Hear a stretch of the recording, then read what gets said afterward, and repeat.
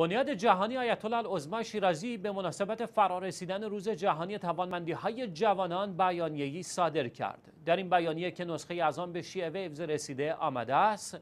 گزارش ها و اعلامیه های حقوق بشری نشان می دهد که جوانان در مقایسه با بزرگسالان سه برابر بیشتر با مشکلات بیکاری و یا از دست دادن فرصت های شغلی در بازار کار روبرو هستند فرصت هایی که حتی در صورت تحقق نمی‌تواند آنها را با اهدافشان یا به اهدافشان برساند این بنیاد حقوق بشری ادامه داد جوانان زمانی با مشکل بزرگتری روبرو می‌شوند که کار با کیفیت پایین بدون جذابیت و با حقوق و کارمزد ناچیز و قراردادهای شغلی کوتاه مدت به آنان پیشنهاد می شود.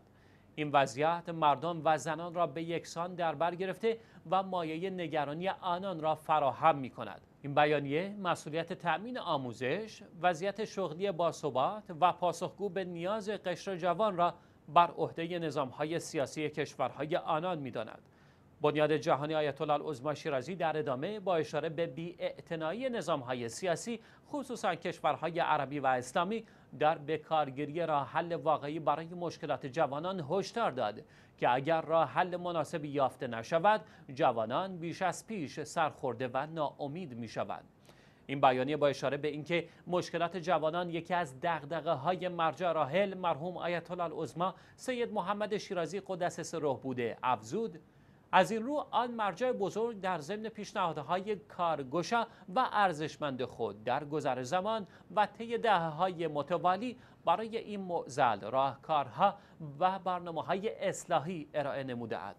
بنیاد جهانی آیت الله العظما شیرازی ادامه داد حوادثی مصیبت بار که شماری از کشورهای جهان اسلام و جهان عرب را در میان گرفته صحت دیدگاه مرجع راحل درباره مشکلات جوانان به ویژه مسائل و امور متعدد در زمینه انحراف فکری رفتاری افرادگری و تعصب در بین آنان را اثبات کرد. این بنیاد جهانی در پایان بیانیه خود از تمام سازمانهای سیاسی و حاکمان کشورهای عربی و اسلامی خواست تا روندی اصلاحگرانه در پیش گیرند تا از این رهگذر با بکارگیری امکانات مادی در اختیار و ایجاد فرصت آموزش و کار عزتمندانه جوانان جامعه را در مسیر ترقی و پیشرفت قرار دهند و برنامه اقتصادی پربازده و مفید برای آنان تدارک ببینند تا اوضاع معیشتی جوانان بهبود یابد و سامان بگیرد.